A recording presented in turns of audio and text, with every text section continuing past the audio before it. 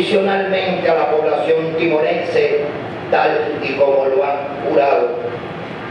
Ese será el mejor, el mejor homenaje para los héroes de esta nación que dieron sus vidas por conquistar la independencia. Eh, tres años atrás eh, prácticamente no había médicos timorenses trabajando en el sistema. Eh, eran muy pocos los que, eh, los que estaban incorporados y hoy, hoy por hoy ya tenemos eh, prácticamente médicos en todos los, en todos los eh, subdistritos del país. Ah, están sustituindo outra vez eh, os médicos cubanos. Agora, os timorenses que estão mais em, em subdistritos, pero los, ah, los primeros grupos de 18, também de los 8 e outros, agora há muitos que estão eh, eh, transferindo ao Hospital Nacional, também em hospitais referales.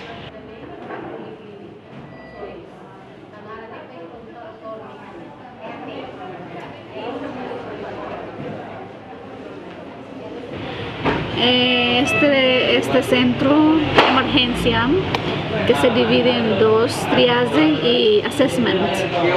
Ese triage eh, lo que investiga o verifica el paciente si el paciente está en la categoría de urgente o no. Si es eh, nosotros ver el caso, si el caso es muy emergente, nosotros pasemos por el de assessments Aquí todos los eh, todos casos vienen, los embarazadas, los de niños, pediatría, los, los adultos, todos, todos vienen por aquí.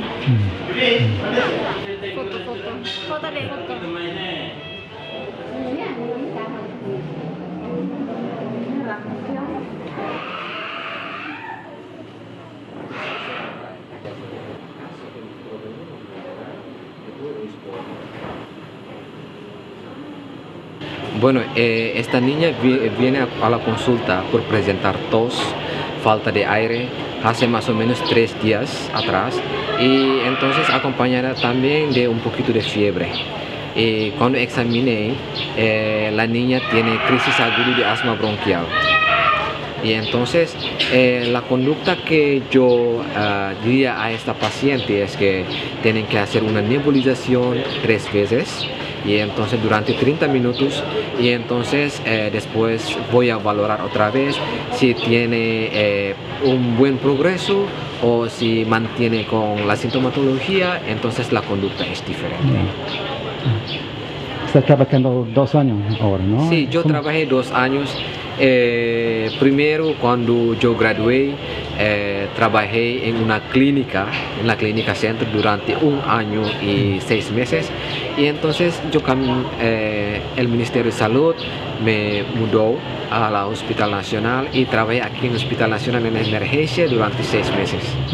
En este momento yo soy eh, el responsable o nosotros podemos decir como focal point para eh, el VIH y también STI aquí en el Hospital Nacional Guido Baladares y cada semana eh, en, en viernes yo eh, vi pacientes con VIH y vi también los progresos eh, el tratamiento para los pacientes de VIH y también seguimiento ah, de CD- CD4, de CD4 y también las complicaciones que tienen los pacientes con VIH.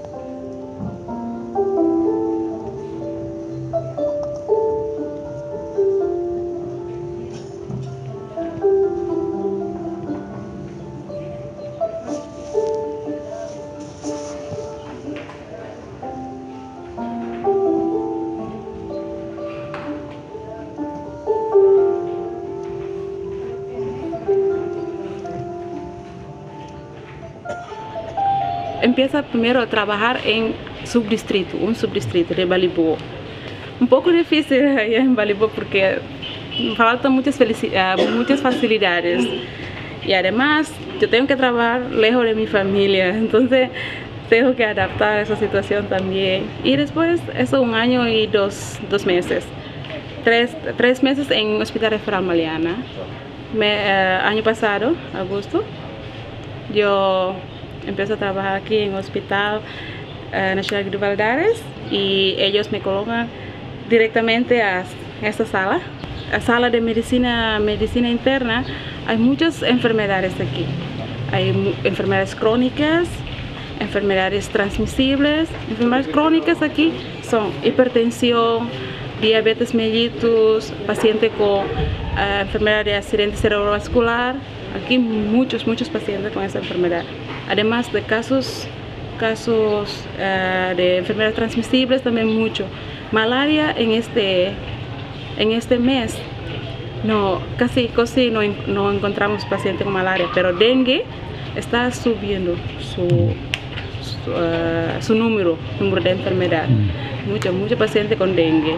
Y tuberculosis también, infecciones respiratorias, con broncopneumonía. Los grupos de nosotros, 54, casi, eh, casi. Eh, 20% o 25%, todos ya están en hospital. Algunos en sala de maternidad, en pediatría, sala de cirugía. Pero los, los médicos cubanos hasta ahora siempre nos ayudan mucho. Como por ejemplo aquí, yo no trabajo solo, no, no trabajo solo aquí. Yo, yo trabajo con el doctor Aldo, un eh, un internista, un clínico, de, este, es cubano. Sí, siempre cuando caso dura, yo directamente entro a consulta con él. Y siempre, ellos me, me ayudan mucho. En- me colocaron por primer día, me colocaron allá en un centro de salud, ah, centro de salud de Oirero supuestamente, que está, un suco que está fuera del distrito de Bocao. Durante todo ese tiempo encontré muchos, much- mucha gente, muchos casos, muchos ah, pacientes de diferentes patologías, digo, vienen con varias enfermedades. La, la mayoría son niños. Usted sabe que ahí en es por la nivel o nivel de la vida muy baja, económicamente la gente vive muy pobre, entonces las enfermedades que se ven, bueno, usted sabe que las enfermedades que se ven muchos en la gente pobre, eh, parasitismo en los niños, infección respiratoria alta o baja en los niños, se ven muchos casos de diarrea, se ven muchos casos de malnutriciones, ah, algunos casos de malaria, algunos casos de dengue, tuberculosis. Felizmente me pusieron aquí en sala de em- emergencia, donde aquí se ve más, creo que se ve más paciente entre entre otros departamentos. Aquí se encuentran más pacientes, digo, que fallecen en comparación mis lugares anteriores, porque aquí llegan todos. Accidentes, pacientes llegan con un paro súbito que no sabe por qué, hipertensión, ah, cualquier, compli- cualquier complicación llega aquí. Y bueno, aquí tiene que trabajar con más cuidadoso, trabajar un poco más rápido y trabajar con, con mucha atención, porque aquí llegan todos. En los primeros años hice mi rotación en Atauro, en la isla de aquí. En Atauro. Sí, y me fui bueno. Al primer, primeros meses trabajé con un médico cubano, pero después lo- el médico cubano, lo- el embajada tenía que trasladarlo para acá, para Dile. Entonces yo y mi amiga tenemos que trabajar sola, tenemos que atender los pacientes más de más de 2.000 o 3.000 3.000 pacientes, tenemos que verlos nosotros de solo. Hay veces que tenemos dificultades, pero bueno, tratamos de resolverlo. Tuvimos muchas experiencias, algunas experiencias tristes porque pacientes, por, por, por la distancia, porque Atauro es una isla, a veces el mar, por eso entonces no, no hay transporte, entonces hay veces que pacientes nosotros mandamos para acá, tenían que morir, pero bueno, no, no muchos. La gente quería venirse al hospital, pero todavía no tiene mucha confianza en los médicos. Pero en los últimos dos años, con la cantidad de médicos que hay, yo veo que la gente eh, empiezan a dejar sobre sus creencias eso sobre los medicamentos tradicionales y ya eh, empiezan a acercarse al centro de salud, a los médicos y he, visto que hay cambios. Los que nos enseñan, eh, tenemos que enseñar a la, sobre todo cómo prevenir que curar. Entonces, lo que nosotros hacemos bastante en la consulta es cómo educar a los pacientes para prevenir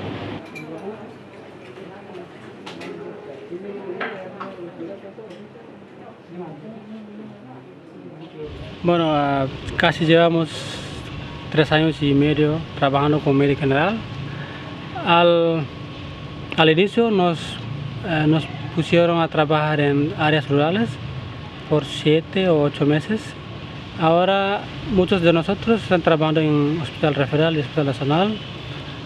Dos de, de nuestro grupo se fueron a Portugal para hacer uh, médico forense eh, los, algunos dos hicieron anestesia, ya están esperando, parece que ese mes se van para Fiji para continuar su estudio. tres de nosotros eh, asumieron cargo en el Ministerio de Salud.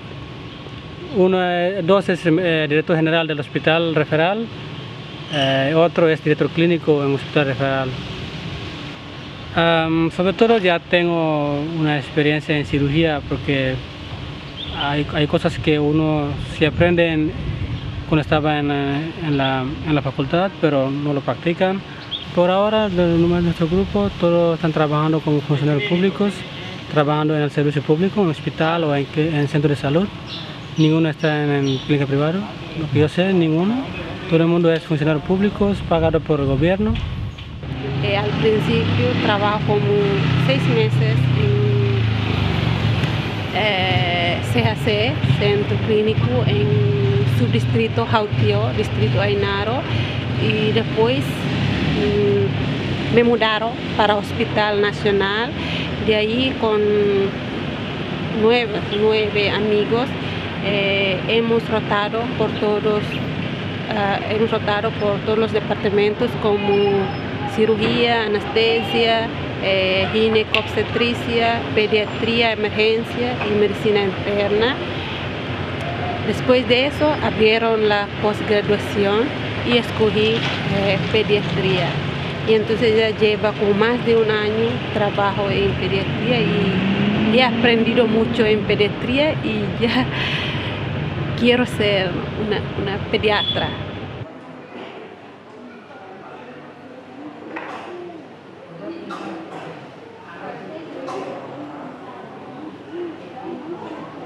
Esa, esa niña tiene, yo le ingresé en el día 6, hace 5 mm, días aquí que está con tratamiento, pero le diagnostiqué con gastro y con malnutrición severa, que se asocia con hipocalemia.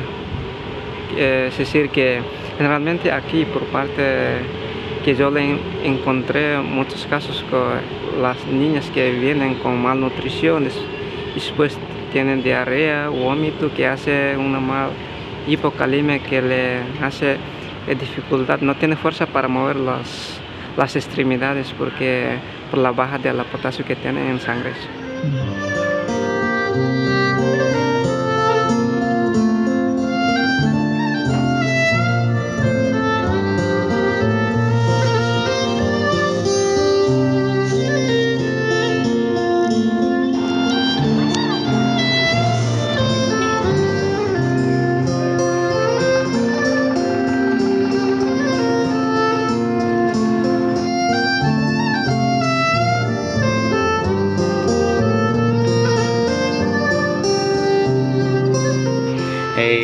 Después de yo gradué, el año 2010, después me ubiqué en un centro de salud, el distrito Viqueque, subdistrito Oso. Trabajé como nueve meses ahí y después el ministerio me pidió para a, reforzar servicio en Hospital Referral mm, Maliana. Y ahí yo trabajé como un año, nueve, nueve meses en Hospital Referral Maliana Además de eso, yo siempre eh, acompaño con los médicos cubanos y también los compañeros otro timorense que está graduado en otro país. Y después ahí eh, el ministerio eh, me seleccionó como director clínico, me, da cargo director clínico en el Hospital Bacó, eh, entonces ahí yo me mudo en Hospital Bacó. Principalmente me trabajo en Bocó, en el hospital este, Hospital Referral. Eh, como soy médico, yo creo una consejo médico. Entonces, acá somos eh, 12 médicos general, 11 lo, uh, colaboradores brigada cubano y 6 médicos internacional.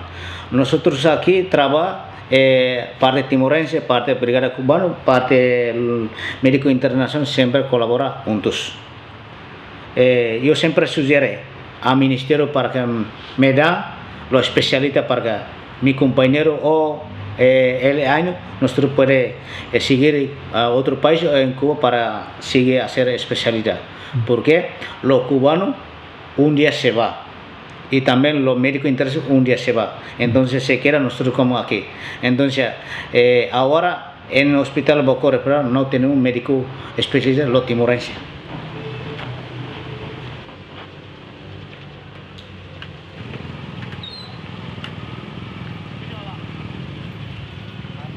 Malaria y dengue. Malaria. Y dengue. Malaria y dengue. Qué bien. Mm, de Tutuala sí está libre de, de esas dos enfermedades. ¿Cómo lo, lo hicieron? Porque hay lagos, hay, hay muchas Sí, hay mucha- de eso, es la pregunta. Primero, cómo repartir el mosquetero. Pero el- lo más principal es eliminar los focos. Como hay que limpiar, hay que eh, quemar las basuras y echar la basura en una, una, una solo lugar. Hay que y quemarlo, hay que fumigar. fumigar Y, tra- y fumigación. tratar cada caso de, de malaria también. Sí, sí, hay- aquí se trata la, el caso de ma- malaria. Aquí tienen Rapidez para hacer- rapidez, rapidez, RDT se llama, para hacer test de análisis malaria. de malaria. ¿no? Si es positivo, se llevan su slide para, para el centro de salud para analizarlo ahí. Pero la- el tratamiento lo tienen aquí, todos. É, agora fico contente com meu filho, porque ele sai também ser do, um doutor para atender os povos de Tutuala. Si tira foto con tres personas no se puede, se prohíbe. ¿Por qué? Se dice que uno se puede morir por tres personas. Y ahora para Realmente. mira, échate de Eso sí, eso es una creencia, ¿eh?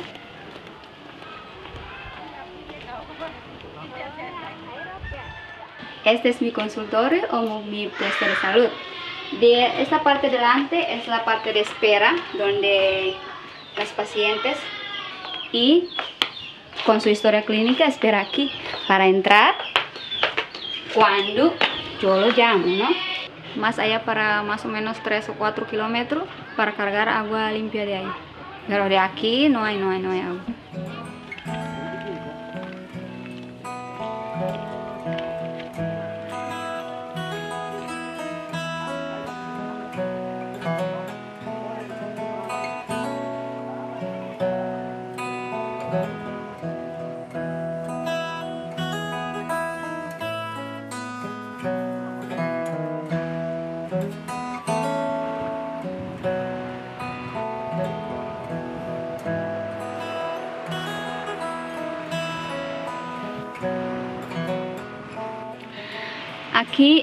La población nos acepta mucho, eh, que se colabora mucho con nuestro trabajo, que acepta eh, las actividades que nosotros hacemos, a pesar de que todavía falta conocimiento, todavía falta eh, el interés por su propia salud, pero bueno, estamos haciendo ah, lo mejor posible para hacer llegar el acceso a la salud a todos ellos.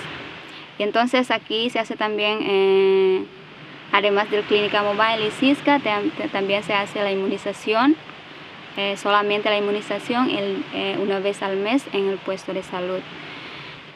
Y nosotros regresamos a nuestro pueblo, trabajamos principalmente en áreas rurales porque nuestro objetivo principal es para promover la salud. Entonces, eh, es cierto que es muy diferente y entonces la mentalidad de la población también es muy diferente porque ya se está acostumbrando a la, al sistema eh, de salud eh, que se enfoca más en, la, en, el sistema curativo, ¿no? Entonces, es, es, es, una mentalidad que es muy difícil a veces cambiar al momento, pero bueno, estamos trabajando en cómo eh, promover más, en cómo desarrollar más el sistema de salud preventivo.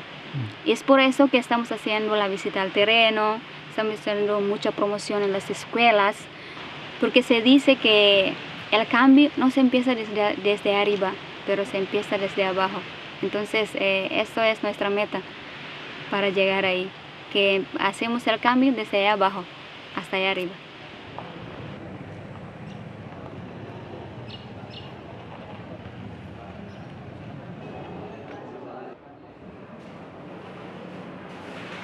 ¿Y cuántos pacientes tiene cada día?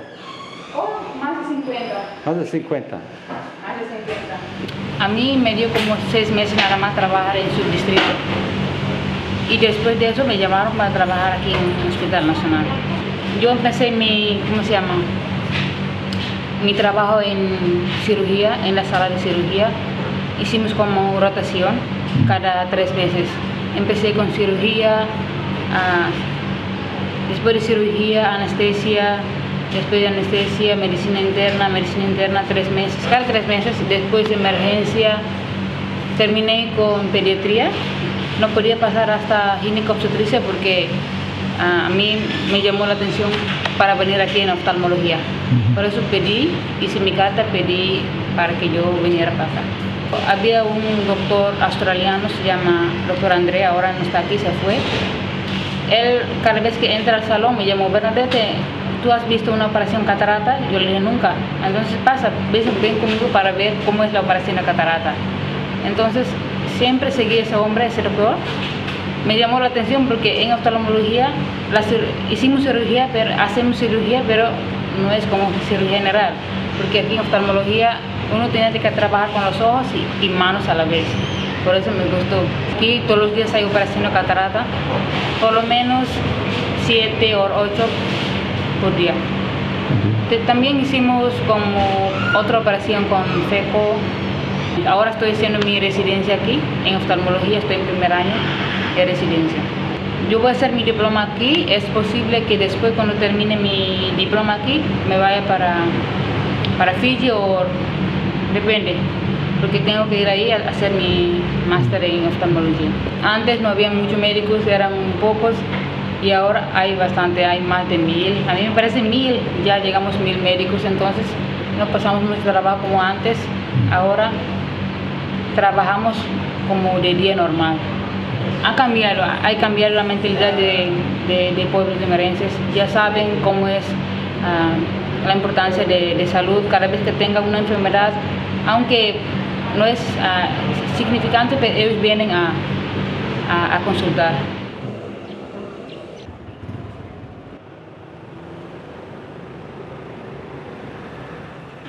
el único médico timorense que, no, en Pleno, soy yo el único médico timorense, pero trabajé con uh, cuatro médicos más cubanos, son cubanos. Ellos también me apoyaron mucho en parte de docencia y también trabajo colectivo para prestar asistencia para la comunidad. en mes de febrero de 2013, el ministro me llamó con otra compañera, Merita, para apoyar en el Ministerio de Salud. Sobre todo yo me encargo eh, como jefe de departamento de enfermedades crónicas no transmisibles y mental. Pero a veces el fin de semana también yo eh, me incorporé en trabajo como médico en clínicas, algunas clínicas cercanas de aquí y también en Greno a veces en fin de semana.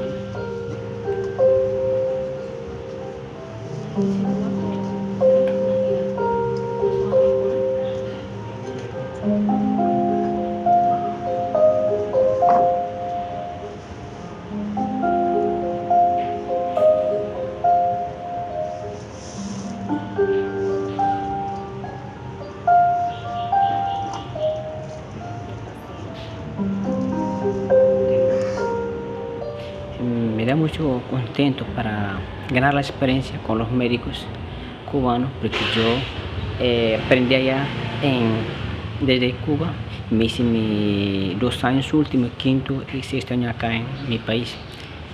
Pero según la experiencia, eh, cosa que yo me eh, pasé cuando estaba en Cuba, yo tenía una, una enfermedad una amigdalitis crónica, entonces gracias a ese país yo me, me alivió, me atendió, me, se alivió mi enfermedad, entonces yo quería hacer mucho, ser esta especialidad de eh, otorrinolaringología.